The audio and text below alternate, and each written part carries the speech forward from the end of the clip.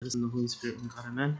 May the Lord bestow upon us His blessing, mercy, grace, and wisdom now and ever to the age of age. Amen. Today is the fifth Sunday of the blessed month of Abib, and uh, as you know, during the fifth Sunday, we commonly read the Gospel of the Blessing. Um, but it's not the same throughout the whole year. The first half of the year, from Tut to Amshir, or from September uh, to the beginning of March, um, we read from the Gospel according to St. John, chapter 6, as we were saying last Sunday. Um, St. John did not repeat a lot of uh, the events that were mentioned in the other three Gospels, but he did repeat some. And, and this was one of the Gospels that, that he uh, added to. Um, and then the second half of the year, we read from the Gospel according to St. Luke, which we also pray in the hour of the Agpeya, the ninth hour, right? um, and so th- these are the readings of um, the fifth Sunday. The readings in the first half are, are the readings of the second uh, Sunday of Amshir. Um, so this is what, like we said, one of the few miracles that are mentioned in all of the four Gospels. Um, and the main theme, obviously, is of recognizing the blessing of the Lord um, in our life. Um, we'll compare this, focus on the, the word blessing today. So, what other instance in the gospel was there discussion of blessing and multitudes? So, here we have multitudes that are blessed, or they eat the food that is blessed by the Lord, right? There's another instant in the gospel where there are many people, and the Lord speaks to us about blessing. The Sermon on the Mount, when he, and seeing the multitudes, he went up on a mountain, and, and then he said, uh, "Blessed are the poor in spirit," and so on and so forth. Right. So, um, this word "blessed" is actually um, a loose translation or inaccurate, as I guess we could say, because there are many words in Scripture that are translated into English as blessing. Um, and so can kind, kind of get a lot of uh, pretty confusing. Um, there's about, I counted about five, but there might be more. Um, and sometimes even in the church, we use them interchangeably. but I think it's important to go through what those words mean because we, if we interchange them incorrectly, we could be a bit confused. Um, so, for example, the first one is uh, is uh, barakah, uh, which we say in Arabic, but it's also from the Hebrew, and it's over 300 times in the Old Testament, and it usually has to do with the physical or the material blessing, um, uh, or that that is seen by everyone. Okay, um, and this is what they were focusing on, especially in the Old Testament, because it was proof not only to them but to the non-believers uh, that God was with them. And so God wanted also to show to, to, to the whole world the blessing that He gave to His people. so this had to do with wealth and, and uh, children and lands and so on and so forth. uh, and like I said, it's, it's used very often in Scripture.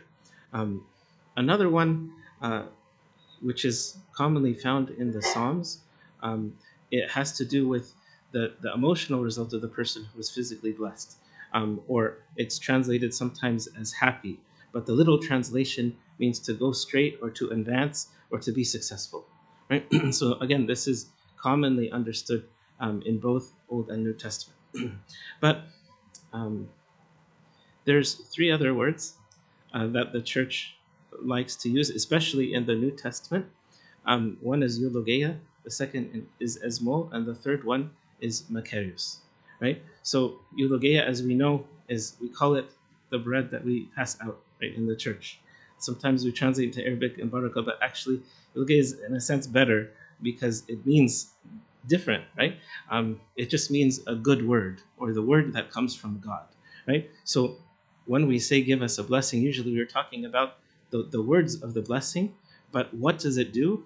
It makes the thing or the person holy or blessed, right? so it's it's in a sense a consecration of that specific thing, okay? Um, or it can also be it's interchanged with ismo, which means a, a proclamation of the person or the one who is blessed. So, like some people ask in the liturgy, why do we say to God, we bless you?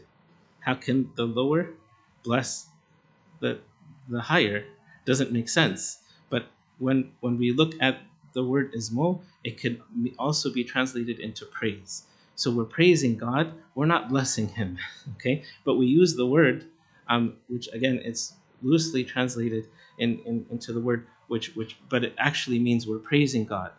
Um, and that's why we say blessed, but we proclaim His blessing when we say, Blessed is the Father and the Son and the Holy. He is blessed and He is the source of all blessing. Um, so that's why we shouldn't uh, get confused. um, Saint Cyril talks about uh, when the, the Lord uh, blessed the, the, the five loaves and two fish here. Um, in St. Luke, he says he blessed, right? In St. John, he actually doesn't use that word. He says he gave thanks. And St. Cyril says it's the same thing.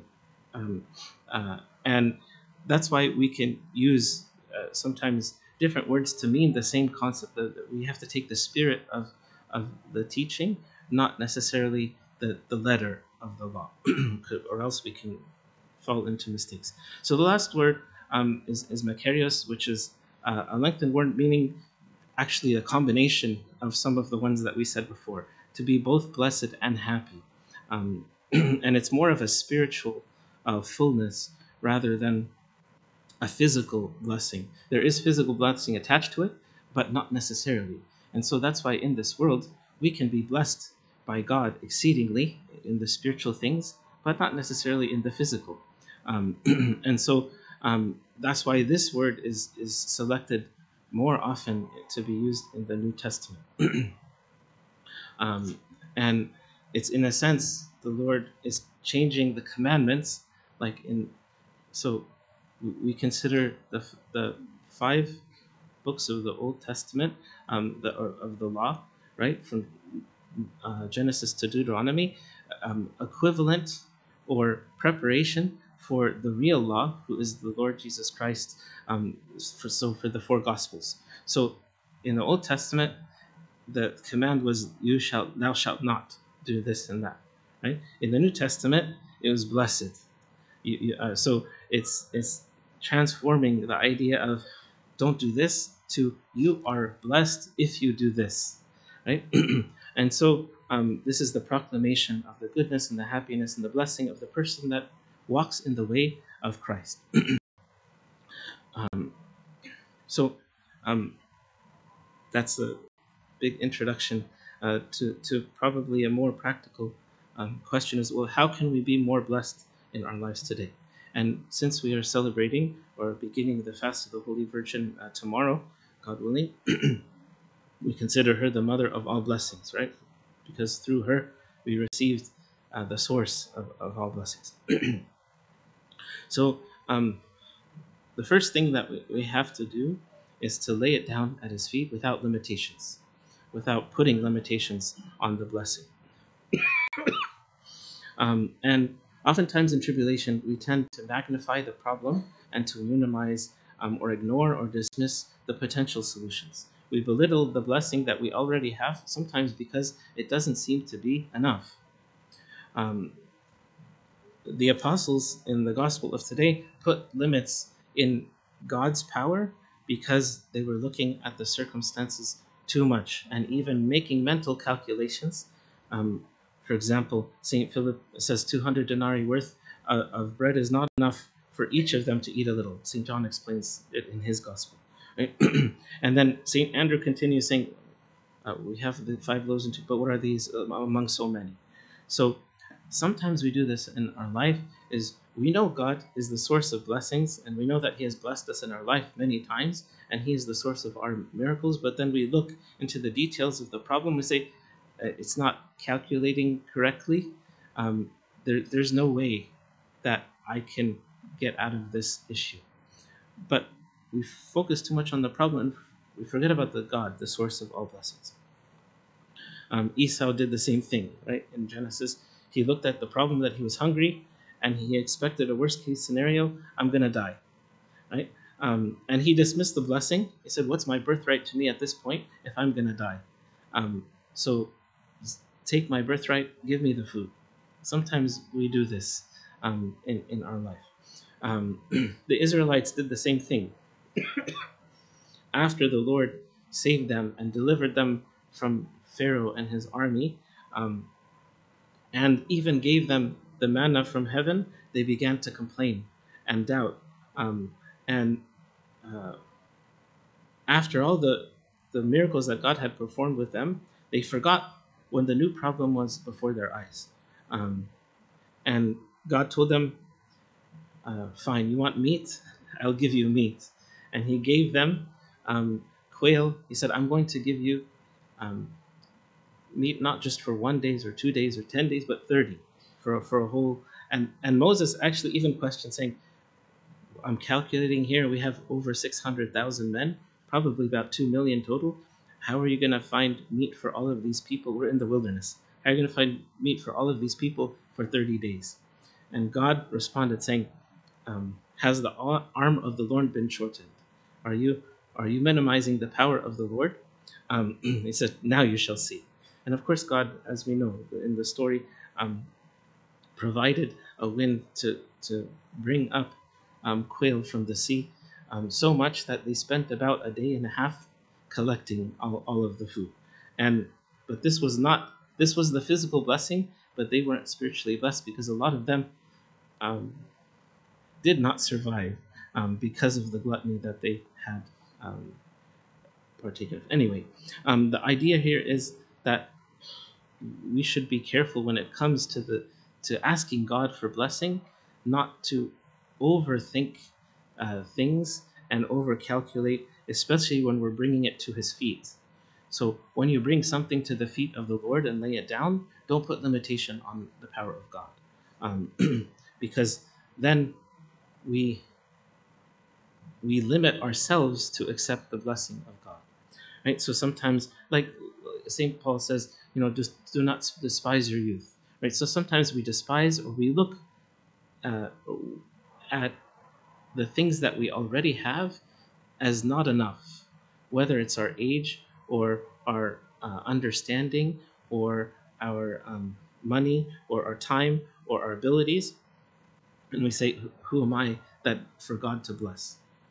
Actually, we're in the perfect situation. If we feel that we have a lot of shortcomings, then God is the one that's going to bless the person who is humble and realizing that I, I can't do this by myself. Um, so um, even if you don't have a lot, you have to give it to God. And if you don't give it to God, then He won't be able to bless it. Um, whether, again, it's our time or our money um, or um, whatever talents that we have.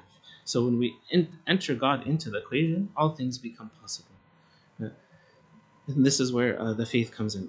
The Holy Virgin Mary was faithful over the little that she had, um, and she didn't despise it, right? She was not a queen. She was not a priest. She was not a prophet. She was not a Sunday school teacher. She was probably very unknown in, in her life, right? but she was very faithful, and whatever she had, she gave to God fully, right? Whether it was prayer or fasting, it was, it was said, you know, in, in the tradition that um, in the years, eight or nine years or so that she was in the temple, um, she used to fast a lot. And they used to give her food and she would give it uh, to the poor. And um, it was also said that when she became hungry, the angels used to come and give her food. Uh, um, of course, this is not in um, official, and some other churches have this uh, tradition, um, but it could be very well true. Um, but she was faithful in whatever she had to give to the Lord. Um, even in the scripture, she learned and probably memorized many passages because when we look at the if you compare Luke chapter 1 her her prayer praise to God and you compare that with Hannah's praise in First Samuel uh, chapter 2 um, she pretty much memorized the prayer and used it as her own um, and you know uh, modified it very slightly um, so this is the faithfulness of the good servant um, that the Lord saw and beheld and wanted to bless more and more and more, more than anyone um, on, on this earth. So uh, that's the first point. The second point is so the first one, again, is to lay it down at the feet without putting limitations. The second one is to ask, even to the point of being annoying. Um, so um, St. James says, You do not have because you don't do not ask. Um, and uh, and then he says later on in the next verse, You ask and do not receive because you ask amiss that you may spend it on your pleasures. So sometimes when we ask, we ask of the worldly and not the heavenly. Um, we want more for ourselves, um, regardless of what we want to give to God. The saints asked for more so that they could give more. Um, for example, um, some of some of the uh, monastic saints they gave all they had, you know, to the poor, and then some of them sold themselves into slavery so they could have money so they could give more, right? Or the ones who were martyred and suffered, they they didn't want just one life to give to the Lord, so the Lord gave them health after all the persecution so that they can offer themselves again to the Lord. Um, so we should be content with what we have and want only want to, to receive more so we can give more. Um, and so uh, this is the, the, the mental uh, act of wrestling with God for the blessing. um, St. Augustine says, Why did Jacob wrestle with, with God and catch him? In order to take him by labor, as whatever we get after strife, we hold on to it more strongly. So if we ask with, with perseverance, even to the point of being annoying, of course we don't annoy God, but this is the this the analogy that he gives um, with the persistent widow um, in the gospel. He says, finally, when we get what we have, what we asked for, we're going to hold on to it. And that's why God doesn't always answer our prayers immediately, because He wants us to persevere and to and to keep asking, um, so that when we receive, we we don't belittle um, the gift that we have received. um, and uh, because of Jacob's persistence or Israel's persistence, the Lord blessed him. Um, uh, Saint Mary, the same idea um, she asked with perseverance. For example, you know the story of the, the miracle of the at the wedding of Cana of Galilee. Um, she presented to the Lord to the problem. Said it's calculating, it's not working. They don't have any wine. Um, that's all she said, and she knew he was going to do something, even though he said, "What? My hour has not come yet."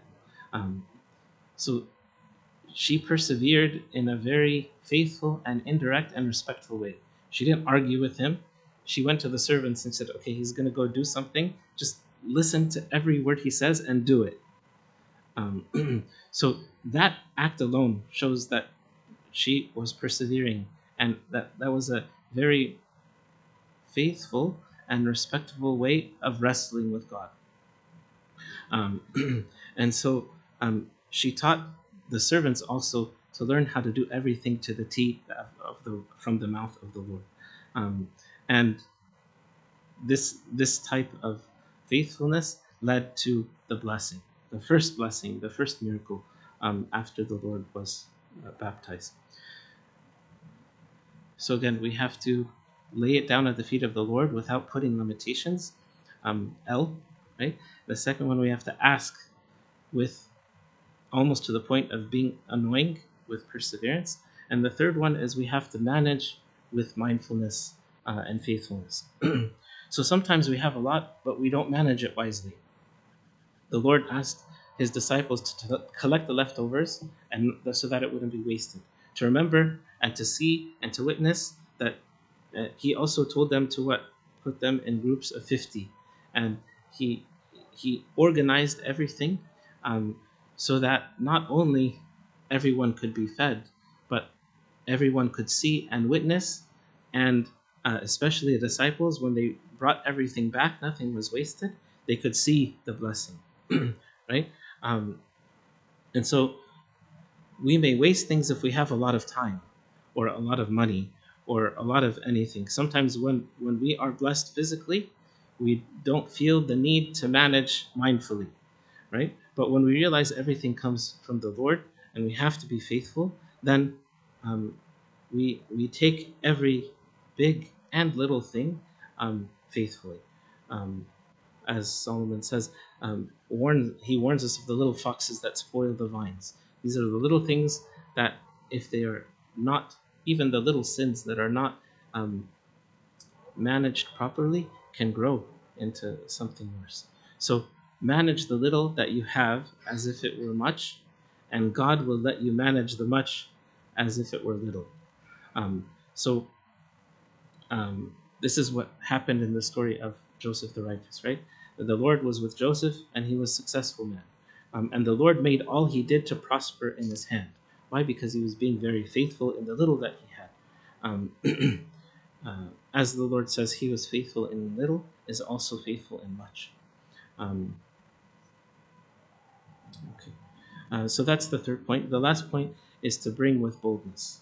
Um, the boy gave all that he had without leaving anything behind or keeping anything for himself. The widow who gave the two mites gave everything, right? And the Lord said, This is the most that anyone has offered because she gave um, in her need and she gave all that she had. Um, Lot had chosen the, the good place, right? And that place was destroyed. Uh, Abraham could have chosen that place as the elder, um, but he gave it to God and ultimately to his to his nephew to for him to choose. And we know the story of what Abraham uh, received, how he was the source of blessings. Right? So the word blessing, like we said before, means to make holy or to be consecrated. So when we feel that we are consecrated by the Holy Spirit to live a holy and a Christian life, then we're willing to give everything. We already have given up everything for the Lord, but it it's it's a daily struggle that we have to do. so um, put all that we have in God's hands, not just the 10%, but everything, and see how it will uh, be blessed 30, 60, and 100 fold. Um, so, uh, as the proverb says, there is one who scatters, yet increases more, the one who gives, but is receiving a lot. And there is one who withholds more than what is right, but it leads to poverty. Poverty. So the, the person who is a miser or not generous, he will be poor and eventually. It says the generous soul will be made rich, and he who waters own will also be watered himself. So the one who gives will be it will be given to him, um, and and the one who who doesn't give will not receive the blessings, like the one with the talent who hid it in the ground. There's no blessing there. Um, so, uh, and this is uh, what we see in the life of the Holy Virgin. When she found out that she um, was going to give birth to the Savior, she accepted, but she also found out what when the angel came to her. What, what else did the angel tell her of another miracle? Who else is pregnant?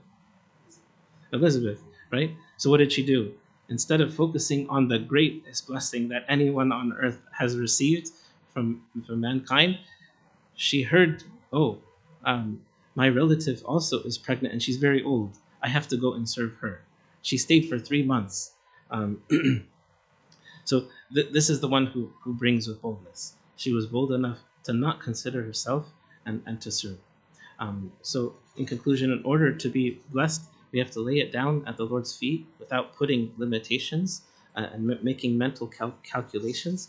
Um, the second one is we have to ask, even to the point of being annoying, uh, with perseverance. The third, we have to manage faithfully with mindfulness, thinking about everything that is. Uh, this is a blessing from God. I have to be faithful. And, and the last one is to bring to the Lord with boldness so that He can reward with, with generosity. May the Lord grant us a life of blessing so that we not only be blessed, be a blessing to others. And glory be to Him now and forever to the age of ages. Blessed